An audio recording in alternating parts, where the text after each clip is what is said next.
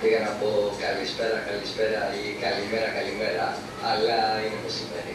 Καλό απόγευμα λοιπόν, καλό μεσημέρι, ό,τι προτιμάτε. Καλησπέρα. Είναι η εκπομπή παιχνίδι είναι, με τη Σεβαστία Ρακατσέλη και τον Γιώργο Κουκρίδη. ενώ στον ήχος, στο διαστημό των ήχων, βρίσκεται ο Νίκος Παβέλος και στα τηλέφωνα, στο τηλεφωνικό κέντρο, η Δεσμina Ζερβό. Καλησπέρα σε όλους.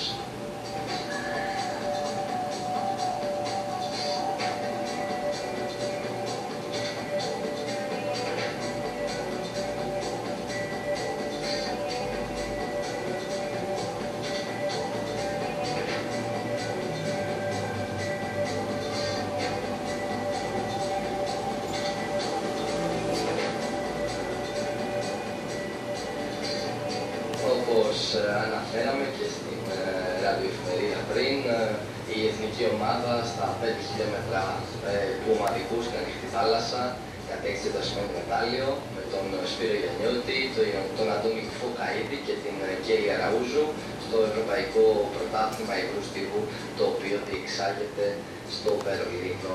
Μικρά, στα 5 και 10 χιλιόμετρα ανοιχτής θάλασσας, ε, τερματίζοντας από τα λόγια τους σε μια πίκρα.